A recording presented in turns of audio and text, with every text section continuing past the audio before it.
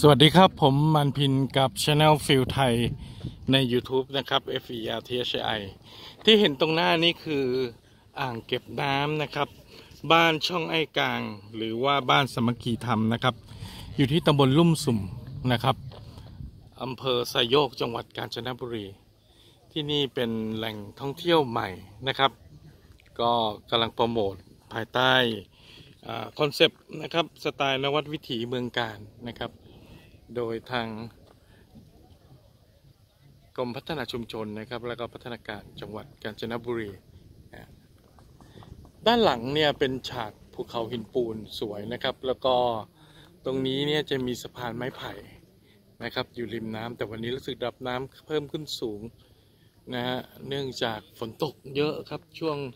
สี่ห้าวันก่อนจากหน้านี้นะฮะนี่ครับภูเขาหินปูน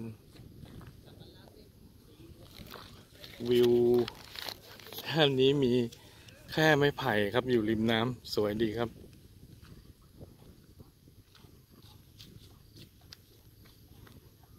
ตรงนี้น้ำขึ้นนะครับ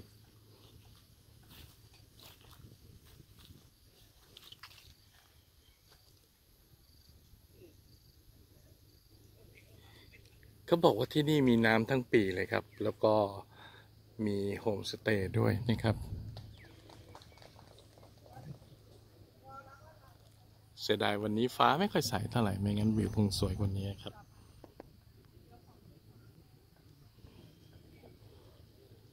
ด้านนู้นก็จะเป็นบริเวณที่จอดรถนะ